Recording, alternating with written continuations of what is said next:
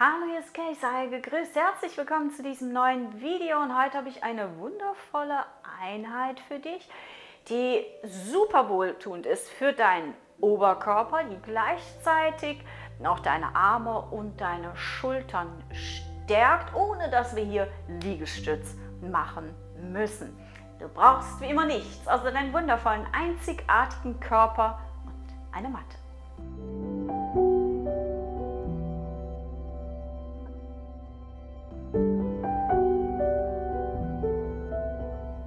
Und wir starten heute am Ende deiner Matte in der Hero Pose im Fersensitz. Nimm mal ganz bewusst deine Schultern nach oben und nach hinten. Unten leg die Hände auf die Oberschenkel. Komm ganz bewusst hier in diesem Moment und auf deiner Matte an.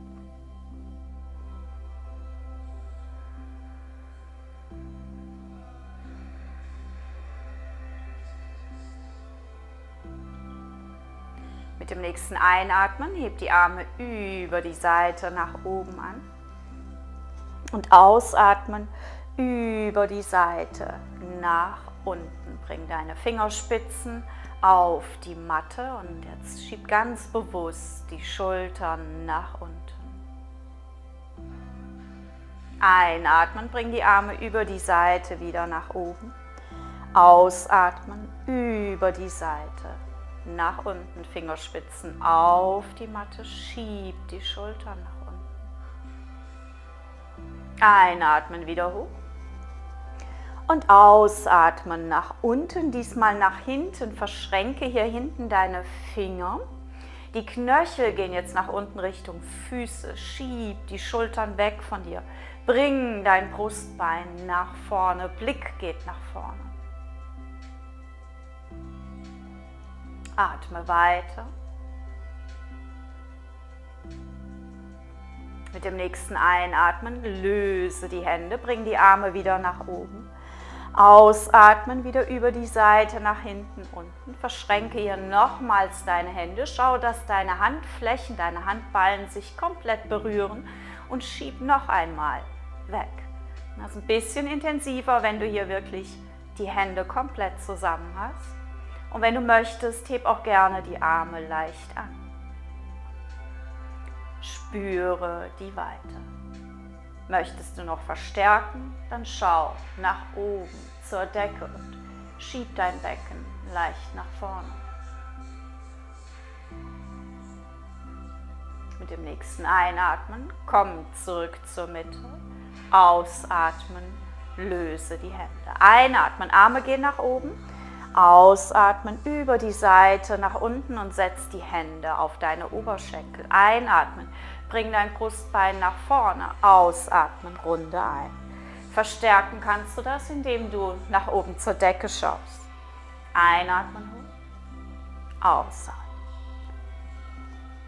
Tiefe, gleichmäßige Atemzüge durch die Nase ein und aus.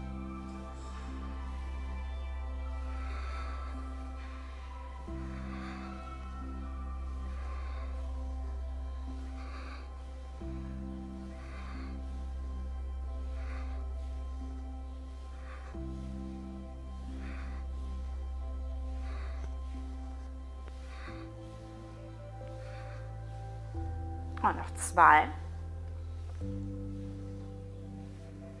Und komm dann mit dem Einatmen wieder in der Mitte an. Atme aus. Atme ein, heb die Arme über die Seite nach oben an. Atme aus, über die Seite nach unten, bring die Fingerspitzen wieder zur Matte.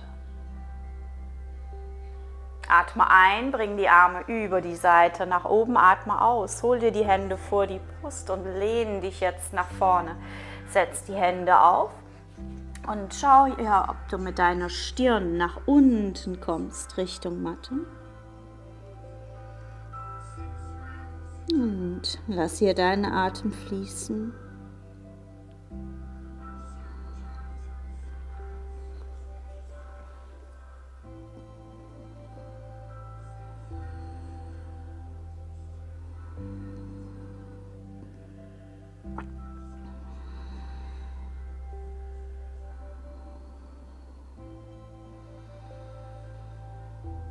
Mit deinem nächsten Einatmen schieb deine Hände nach vorne zum Mattenanfang. Atme natürlich weiter.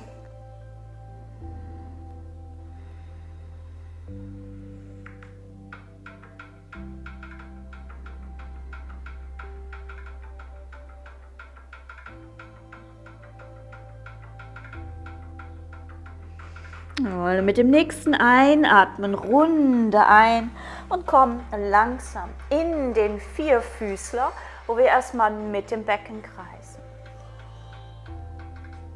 Du kannst die Kreise so klein und so groß beschreiben, wie du möchtest.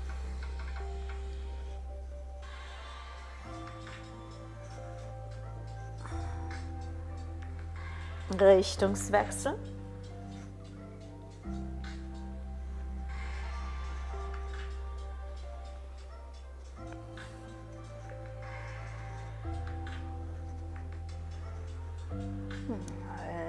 Komm langsam in der Mitte an. Atme ein. Lass den Bauch leicht hängen. Schau nach oben. Atme aus. Runde ein. Einatmen. Schau nach oben. Ausatmen. Schau Richtung Nabel.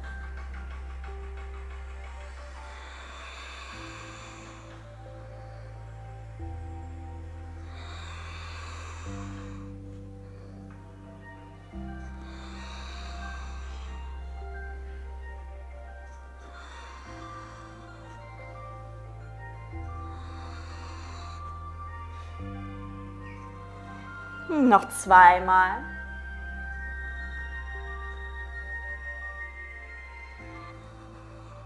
Einatmen, schau wieder nach oben, halten.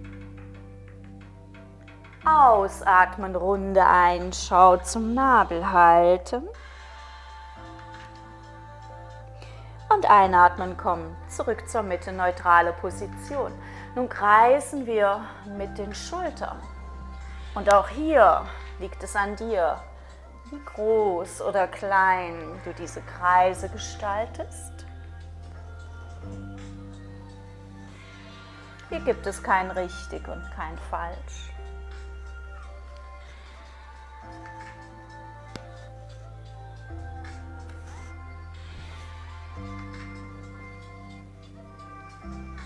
Und Richtungswechsel.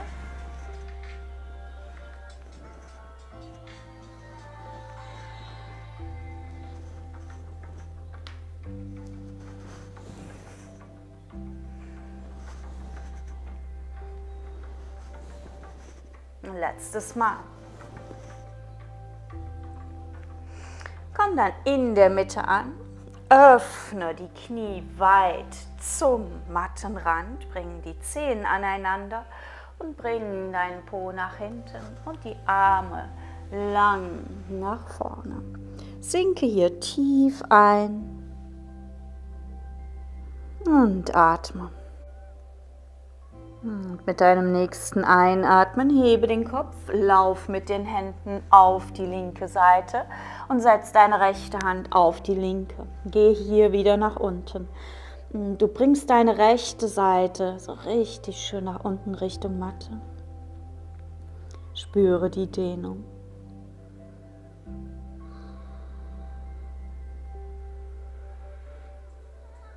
Und dann wieder einatmen anheben, über die Mitte nach rechts laufen und hier die linke Hand auf die rechte legen.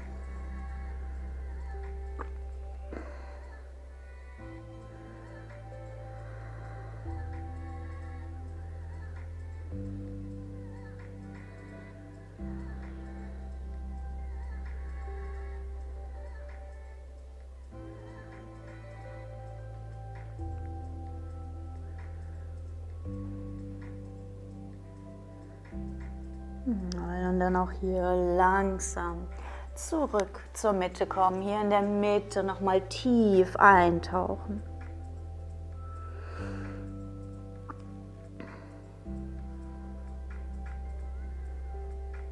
Und mit dem nächsten Einatmen bring die Hände ganz langsam Richtung Körper, verlagere das Gewicht nach vorne, schließe deine Beine Wieder in der neutralen Position an. Und atme aus. Atme ein, streck den rechten Arm lang nach vorne, ausatmen, aufsetzen, einatmen links, aufsetzen, im Wechsel.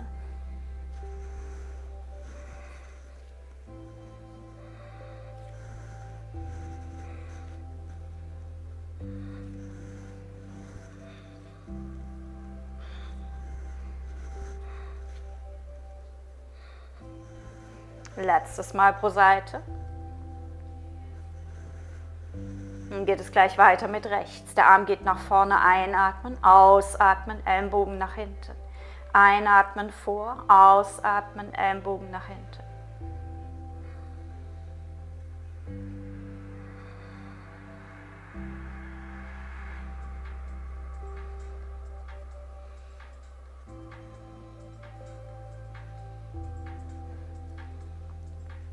Letztes Mal. Arm vorne, Daumen nach unten, bring den Arm über die Seite nach hinten, Daumen hoch über die Seite wieder vor. Daumen runter nach hinten, einatmen, Daumen hoch nach vorne, ausatmen.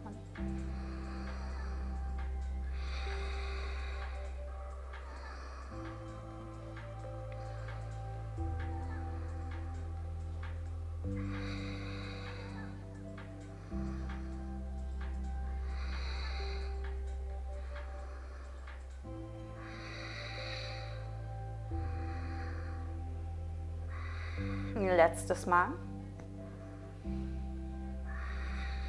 Und dann setz deine Hand auf. Links geht nach vorne. Einatmen, ausatmen, Ellenbogen nach hinten. Einatmen vor.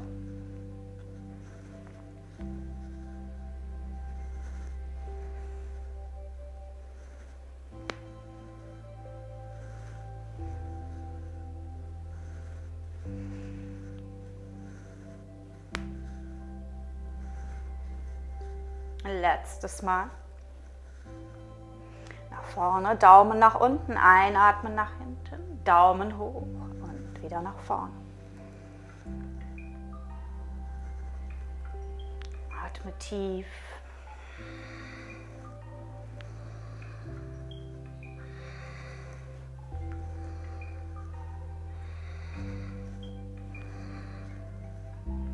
Letztes Mal. Und die Hand aufsetzen. Einatmen, Gewicht nach hinten. Und dann atme aus. Komm langsam wieder zurück nach vorne. Wir gehen zurück an den rechten Arm. Einatmen, nach vorne. Ausatmen, Ellenbogen nach hinten. Einatmen, vor, Daumen runter. Ausatmen, zurück. Einatmen, Daumen hoch vor. Ausatmen, Ellenbogen nach hinten. Wieder nach vorne und über die Seite nach hinten. Also die Kombination in deinem Tempo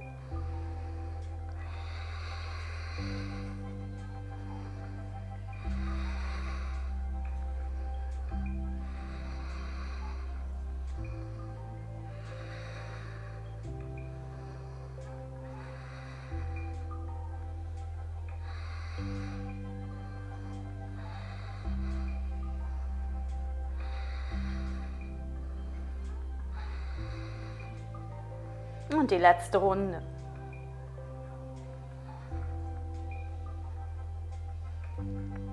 Und dann setzen wir die Hand auf. Und das gleiche mit links. Nach vorne, Ellenbogen nach hinten, nach vorne und über die Seite nach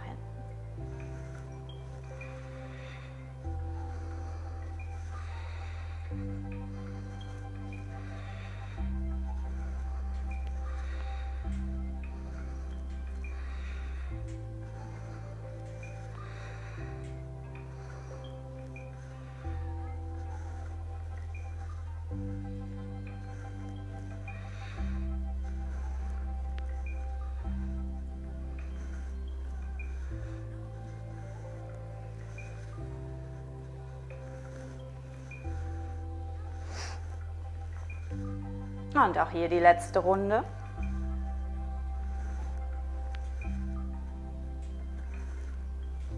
Und dann setzen wir die Hand auf.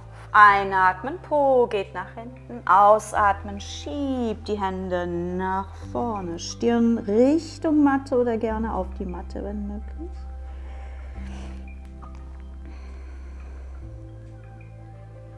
Und einatmen, runde ein. Komm nach vorne durch. Stell deine Zehen auf und nun heb die Knie circa 5 cm von der Matte an.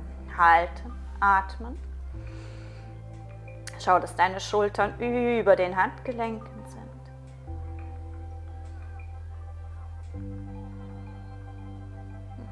Und ausatmen, Knie ablegen, Füße ablegen, einmal tief atmen.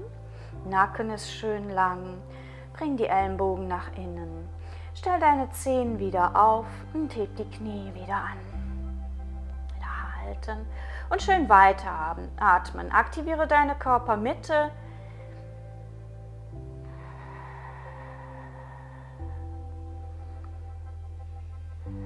Und langsam wieder senken, Füße ablegen, tief atmen.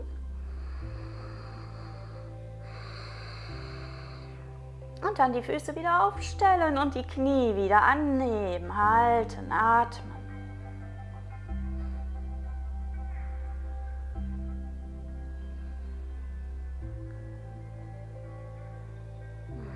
Und ausatmen langsam. Wieder ablegen, Zehen ablegen. Und jetzt drehen wir die rechte Hand nach außen, Finger zeigen zur Seite und die linke Hand nach außen. Finger zeigen zur Seite. Hier schau nochmal, dass die Schultern wirklich über den Handgelenken sind. Stell die Zehen wieder auf, heb die Knie an. Halten und atmen. Kittylein. Hi. Ja. Und langsam wieder ablegen, Zehen ablegen, bisschen mit dem Becken hin und her. Jawohl. Und dann drehen wir die rechte Hand nach innen und die linke Hand nach innen. Jetzt gucken die Finger zueinander. Stellen die Zehen wieder auf und heben die Knie wieder an. Halten und atmen.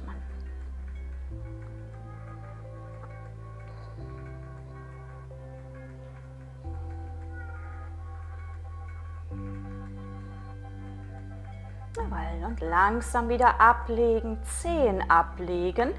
Und dann bringen wir die rechte Hand in die Faust und die linke Hand in die Faust und stellen jetzt die Fäuste unter den Schultern auf. Stellen die Füße auf und heben beide Knie wieder an. Halten und atmen.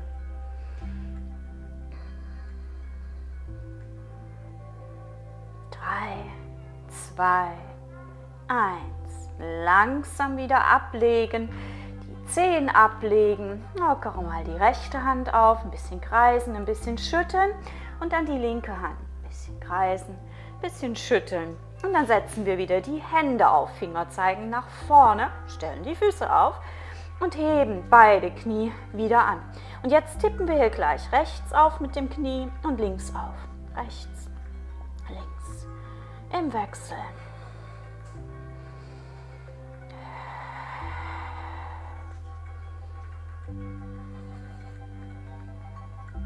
Zwei pro Seite. Letztes Mal. Und dann wieder aufsetzen. Zehen ablegen. Po geht nach hinten. Arme lang nach vorne, Stirn Richtung Matte. Tief atmen.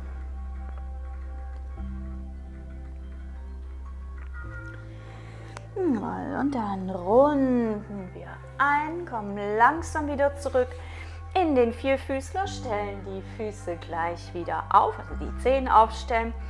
Und dann heben wir die Knie wieder an. Und dann einatmen, Gewicht nach hinten, Po Richtung Fersen. Ausatmen, nach vorne, Schultern über den Handgelenken. Nach hinten und zurück. Nacken ist ganz entspannt. Aktivierte Körpermitte. Zieh deinen Nabel leicht nach innen.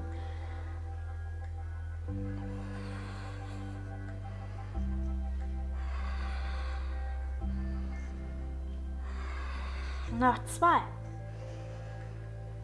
Beim letzten Mal bleiben wir hinten. Halten. Tief atmen.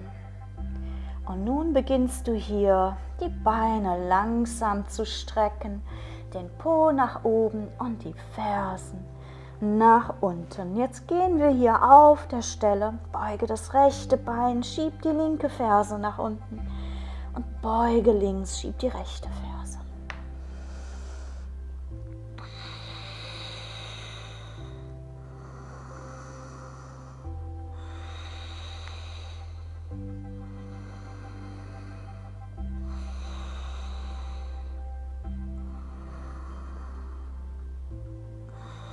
Und dann beide Fersen nach unten, den Oberkörper nach unten Richtung Matte bringen. Auch hier, dein Nacken ist ganz entspannt. Ja, wir neigen gerade in solchen Positionen dazu, den Nacken anzuspannen. Du kannst den Kopf auch wirklich hängen lassen.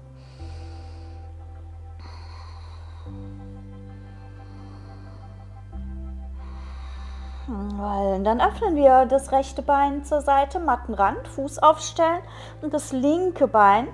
Und dann geh hier noch mal ein bisschen weiter nach hinten. Und dann kannst du hier ganz langsam von Seite zu Seite schwingen, so ein bisschen nach rechts und über die Mitte ein bisschen nach links.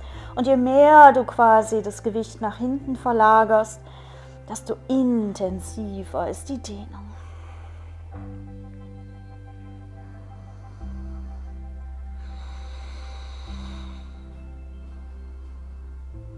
Je mehr du zur Seite verlagerst, desto intensiver ist die Dehnung in der Innenseite.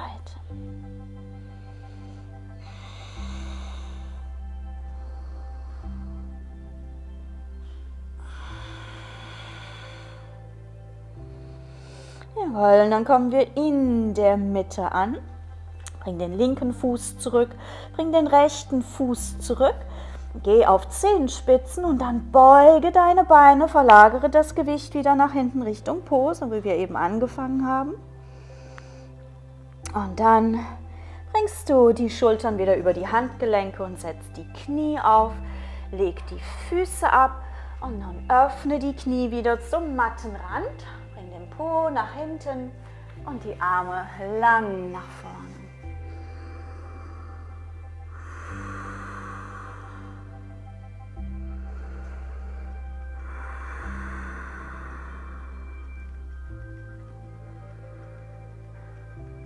Jawohl, mit deinem nächsten Einatmen heb den Kopf an, lauf mit den Händen nach hinten und du hast es geschafft. Eine wunderbar schöne Einheit um die Schultern, um die Oberarme ein bisschen ja, zu stärken und zu definieren.